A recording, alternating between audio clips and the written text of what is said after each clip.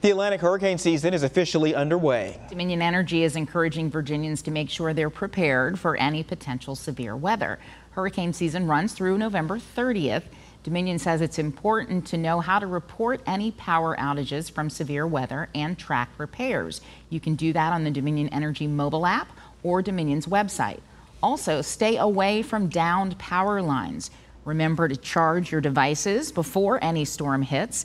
And if you have a generator, make sure it's working properly and have enough food, water, and emergency supplies on hand.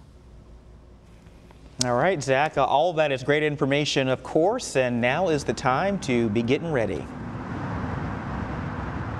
It is. It's funny. I never got a generator. I've owned a few homes before moving to Richmond, but uh, been here for 15 years. Never had to have a generator until I got here. And it wasn't just for hurricanes, which was the reason that we got it for the first one, but also the nor'easters as well. So a decade in Oklahoma, never had to have a generator. Come to Virginia, have to have one. All right, we're not necessarily a coastal city here, but we can be affected by these things directly with wind, as we've seen from storms like Isabel and by flooding with Gaston and especially if you go back in time, Agnes and also Camille.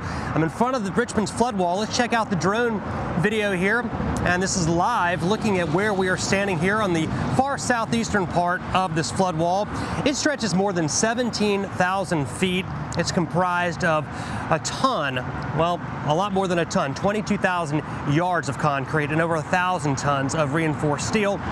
And there's 19 different gates that open and close. They stay open almost all the time, but they can close if they need to to keep all the water in the James River and not flood Manchester or Shockoe Bottom.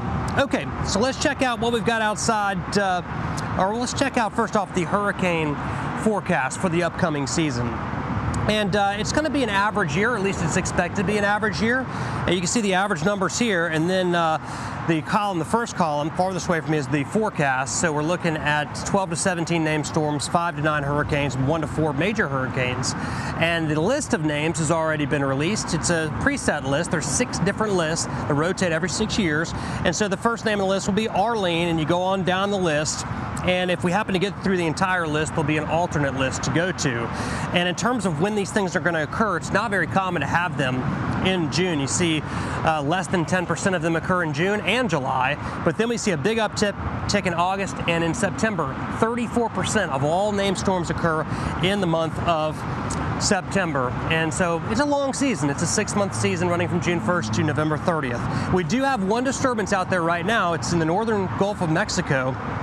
And this thing uh, has a chance to develop into a named storm. If it does so, it will be called Arlene.